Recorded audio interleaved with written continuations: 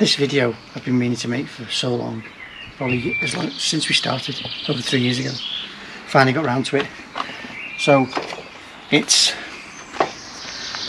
do you do you set your bricks the right way up? When I was an apprentice, one of the first things I got taught was you've got to put your bricks the right way up, and I thought that was like tartan paint or a left-handed screwdriver or sky hooks. I thought I was getting them wound up, but it's true. You've got to set your brick the right way up. So here's a few examples.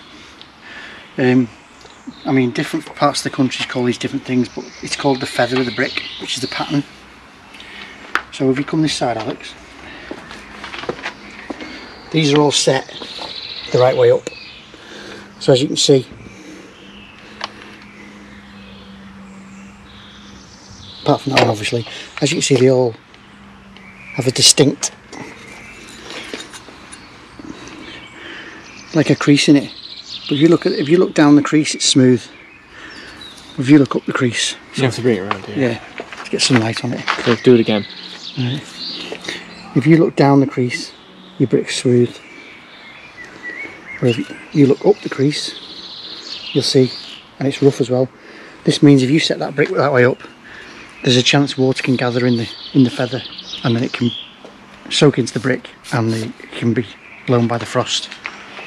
That one's quite a small one. This one, on the other hand, is very rough. See again, you can you can really it's really distinct when it's a long way up so that's it and the other thing is you've got to learn for speed is uh, is spinning the brick which sounds daft but it's something that becomes second nature. So same with the, same with your common. Obviously your frog up. So if you pick your brick up it's been stacked upside down then you want that. You don't want to be going to put it in. Pick it up basically you flick your wrist do that with your wrist and you spin it on the finger or your thumb or your wrist. So I usually do it on the finger. So I'll try and do this in slow motion if I can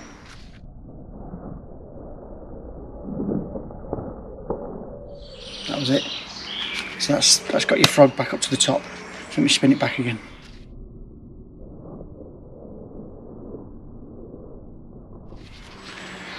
So it's back down again so it's back up. The other, the other the other way people do it is oh no um let me think back to uh, yeah if you want it if you've got your you pick your brick up and the face is away from you. Spin it on your on your wrist. Spin it around like on your wrist. But it's on your finger to send it the other way. That sends it up, upside down. Um, yeah so it, obviously at first when you're looking at them you've got to check first.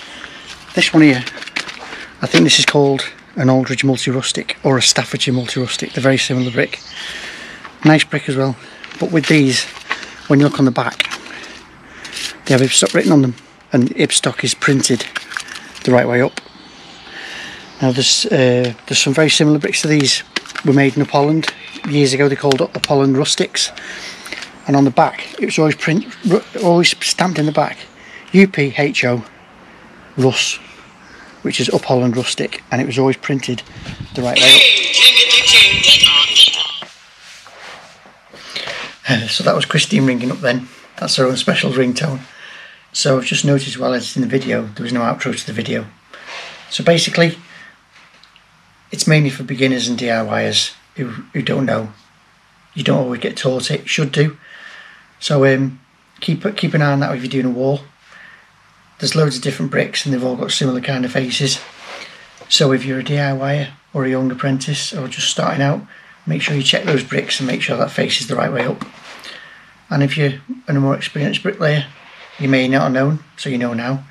And if you do know and you don't bother, you should know better. I've seen a lot of slashers on site that throw them in and not bothered which way up they go. And it does make a difference and it does look better when the right way up. And last one is also when you're doing soldier bricks as well. If you keep them the same on the soldiers, it always looks better. So that's it. If you if you like the video, make sure you click the like button, which we always appreciate. Subscribe if, you, if you're new to us. Uh, there's getting on for 200 videos now, and um, yeah, click the notification button so you'll always know when we're uploading a video. So thanks for watching, and we'll see you in the next one.